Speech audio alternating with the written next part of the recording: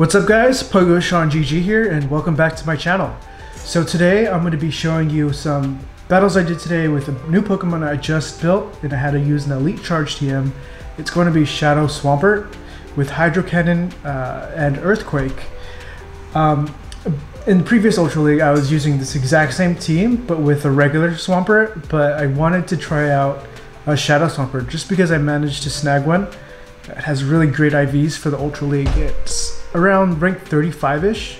So the IVs are like 1, 10, 12 or something. So it, it gives it a little bit more bulk and it can survive a little bit more charge moves, but I'm excited to use it. So what I've been testing out is typically I play uh, Swampert in the back. Um, there's a few games I don't know I don't know if I show it here, but I use Swampert in, in the front but based on like what I've been seeing, what I've been testing it, I like to use it in the back and start off and lead off with Cresselia. Um, generally, Cresselia is a really great. Uh, actually, it's really great in any position, but I like to use it as a lead. And yeah, um, I haven't been playing Premier Cup so much, just because I like using my Cresselia and I like using Registeel sometimes. I think it's fun. Even though uh, Premier Cup seems a lot more diverse, I actually really enjoy this. So, cool guys. So let's bring it back to the battles. So, I go ahead and bring out uh, my Swampert here uh, to get a Hydro Cannon on this Togekiss, and if that were a regular Swampert throwing Hydro Cannon, it wouldn't get it into the yellow, it would actually be a little bit before the yellow and just the way the damage outputs and the way that the team uh, synergizes, this extra bit of damage uh, does well with the extra lick damage from Snorlax. It does well with like an extra Moonblast uh, with Cresselia, and I'm really enjoying it. It can it could actually win the Zero Shield against um, what's that? What's that Pokemon? The one that's right there, Escavalier. So I'm still learning the, the little intricacies of the matchups. It's some of them are skewed just a tiny bit, and I'm still learning that. And it's, it's been a little process. That's why my score has been all over the place. Let's see what up here. Oops. So we're up against an Ampharos. This is pretty spicy. And I was thinking this is this might have been a mistake for my opponent. Maybe they clicked on Ultra League, but they wanted to go to Premier. But based on the battles, they're definitely uh, in the right league. So this is not a great matchup for my opponent, especially if we're running a Focus Blast. Cresselia is going to be a great wall towards this Ampharos. Um, we see it throw these Thunder Punches, and it's barely doing anything. And my opponent's going to have to decide to shield up these Moonblasts. I went for an undercharged one just to get some farm down if that landed. But it looks like I'm going to go ahead and commit to the full uh, damage output right now. And as you can see, um, I'm not going to shield here at all, just because I know the Pokemon in the back can handle this Pokemon really well. And now my opponent's down two shields, and I can bring out Swampert, and it's going to be a complete wall to this Ampharos.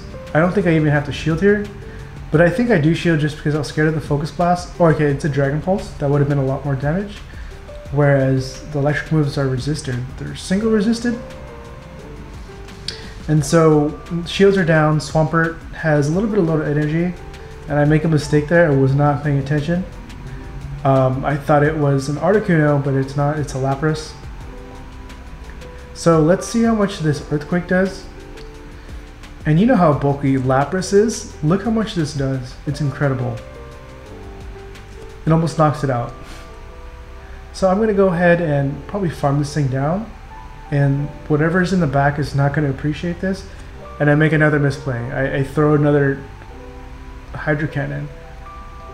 But as you can see right here, it's going to be taken out with one Earthquake. And that just goes to show that the Shadow Swampert in the Ultra League is is really dominant, and I think it's ranked number one in Premier Cup as well. But I haven't been able to get the hang of Premier Cup, so I just decided to do Ultra because I enjoy these these really bulky, bulky matches that take forever. And so we're up against a Giratina here. Again, I like to save my shields for Shadow Swampert. And all I'm going to do is just land these Moonblasts. Uh, depending on the situation or how I feel that day, I like to switch out into Snorlax towards the end of this interaction. Uh, just to save a health a little bit, just to say, like, hold a Moonblast in the back. But it looks like I'm just going straight Moonblast, and I'm not going to be switching out here. So we do get the shield, which is great. But our opponent, I'm, I'm guessing my opponent throws Dragon Claw here. If not, then good plan him. So it is a Dragon Claw. Okay, so I go down there with the Moonblast, which isn't good at all. And so my play is my play here now is to farm Giratina all the way down and have stored up energy for whatever's coming out in the back. If this is if this were a Dragon Breath Giratina, is it a Dragon Breath Giratina? I think it is actually. Oh well, but the dragon, uh, the Dragon Claw, the Dragon Claw, the Shadow Claw Giratina is almost. Uh, it is Snorlax is a complete wall to that. So he brings out Cresselia, which is great for us. These licks are going to be doing super effective damage. In this situation, I would love to have Shadow Snorlax because I believe there's a breakpoint within the lick damage, doing a little bit more extra damage. But it's okay. So I notice that he's running Confusion. So their charge moves aren't going to be as fast. So I'm going to go ahead and bring out Shadow Swampert here to clean up.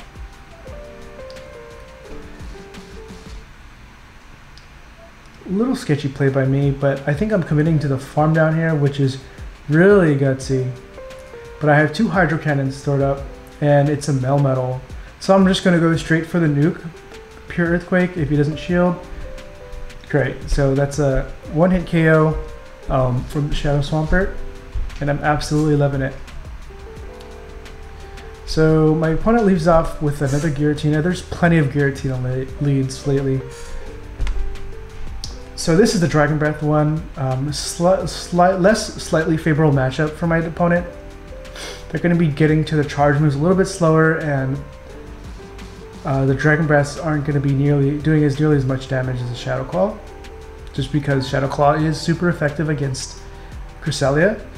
Uh, and now I'm just going to be charging a little bit just to throw off my opponent of where I am with my energy. So I'm at one and a half moon blasts. Um, I do this just from time to time, from time to time to confuse my opponents. So I go for the moonblast here, and if my opponent doesn't shield, it's going to be taken out. Okay, so he does go down, and we're up a shield, and look what we get. We get a Melmetal, so Shadow Swampert is going to go to town. Um, I'm just going to be going straight Hydro Cannon here. And it does a significant amount of damage. I'm going to shield up this, the first superpower. This is going to be the most damaging one. And whatever he throws here now, because he's debuffed by one stage, both attack and defense, it's not going to do nearly as much damage. So I'm going to go, go and throw the nuke here, and let's see what lands. If it lands, oh my gosh, that does so much damage. That is so crazy. So that almost, this, the Earthquake with this uh, subsequential mud shots should be easily enough to take out uh, Swampert. So I go, uh, go ahead and bring out my Snorlax just to give it a little bit of love. And there's no reason to go to Earthquake here, and I'm just going to go straight Body Slam and this should be enough to KO. And smart on my opponent not to throw a superpower because essentially he has no options to switch out to, clear his debuffs. And we're able to get to a body slam, the second body slam, this should be more than enough to KO. So GG's. So we're up against Miller, Milo R double D and this is the most boring matchup there ever is. Typically, if I get hit with a debuff, I like to switch out and store energy on my Cresselia uh, for whatever's coming up next. Because so, so, in this situation, I did get debuffed. I'm going to bring out my Snorlax because essentially if I throw that energy, it's going to be essentially debuffed energy and it's going to be less energy efficient. So the damage times the DPE is going to be a lot lower. So I don't want to pay this amount to have lower damage. So my opponent is staying in here, um, which is kind of interesting. Not sure why he's staying in here. Maybe he doesn't have a, a great answer for Snorlax. I didn't run into a bunch of counter users today, which is which is lovely. And I'm gonna go ahead. So Lapras comes out. I think the play here is to, yep, bring out the Cresselia. And questionable if I should go Future Sight or Moonblast. Maybe I was hoping to get the debuff, but I think the correct play is to go Future Sight. Yeah,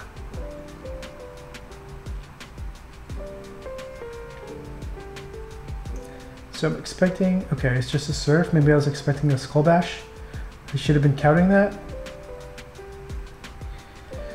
And I expect another surf here, and it is. It doesn't do a lot of damage because Cresselia is just a tank. And I undercharge it here to farm up energy for the next Pokemon. So the Cresselia is coming back out. I'm not going to shield this. I believe I switch out here just to farm it down with lax. Store up uh, future sight. I should be able to survive this. If not, oh, it's a grass knot. Okay. So it's perfect amount of energy for Swampert to farm. And we're down a shield against a Charizard. However, Mudshot charges energy up so quick that this is going to be a GG for my opponent. Zard is such a glassy Pokemon.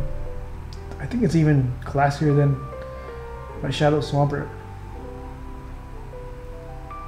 So community community day is coming up for Charmander. I hope it might. We have to vote on it, but if it does come out, we I hope it gets Dragon Breath. That would be amazing. So GG.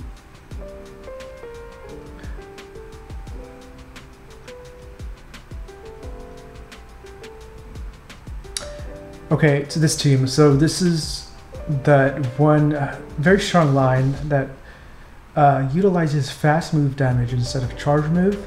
So I know that. So I think I'm going to be shielding everything up from uh, Empoleon. So I expect my opponent to switch, but he's staying in. So I'm going to go ahead and throw... Okay, so it's not the Empoleon Giratina Togekiss lines. It's just a random team. So brings out Heracross, and we're gonna be able to take this if my opponent doesn't shield. I'm gonna have the second Hydro Cannon. Excuse me. And can we get to another one? We don't, unfortunately. But however, um, so I, am guessing this is a Mega Horn. I need to block this because that would almost KO us, I believe.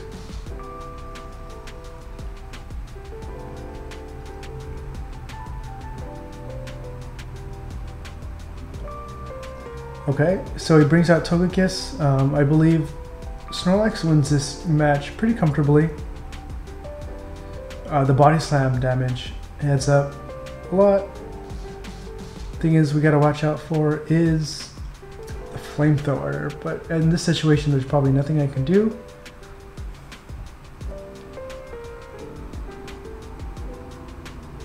Ooh, I think going for the flamethrower would have been better. I'm not sure. Yeah, he could have gotten to it too. So that's a little bit of a misplay by my opponent. But however, we have a, a stored up Cresselia in the back, and we're gonna go for the combo play here we're to be able to survive this hydro cannon and get a future sight off. And this just should be enough to be taken out. Nope, I think we're to end it with a couple cycle cuts and that should be a good game. So that was my little 5 0 set with uh, my Shadow Swampert. Um, I hope you guys have a great season 3. And thank you for watching. Please like, comment, and subscribe, and I'll see you next time.